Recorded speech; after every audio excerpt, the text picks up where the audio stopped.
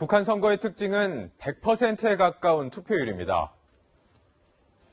전체 선거자의 99.97%가 선거에 참가하여 대의원 후보자들에게 100% 찬성 투표하였다. 이렇게 자신만만하려면 유권자 파악이 기본인데 아닐 수도 있다는 생각이 듭니다.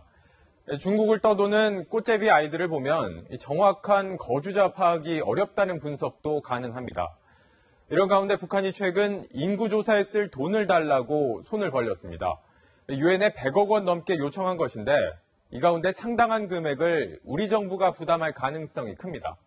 곽정화 기자의 보도입니다.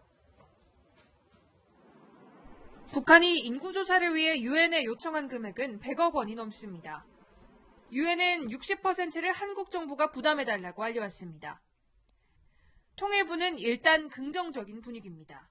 국제사회의 대북 제재의 틀을 훼손하지 않는 범위 내에서 성사된다면 지난해 1월 4차 핵실험 이후 첫 대북 지원이 달러로 전달되는 겁니다. 전례가 있습니다. 2008년 같은 조사 때 40억 원 넘게 지원한 적이 있습니다. 관리 14만 명이 전체 가구를 방문해 가족 수, 직업, 개인 소득, 가전제품 목록을 조사했다는 것이 당시 북한의 설명이었습니다. 하지만 우리가 준 돈이 북한의 주민 통제에 쓰였다는 해석도 가능합니다.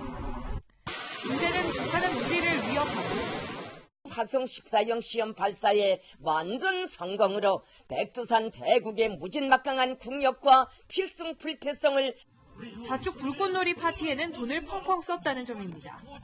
그럼에도 인구조사를 할 돈은 우리에게 달라고 손을 내미는 형국이 됐습니다. 채널A 뉴스 곽정아입니다.